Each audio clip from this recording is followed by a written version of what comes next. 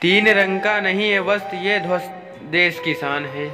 तीन रंग का नहीं है वस्त ये ध्वज देश की शान है।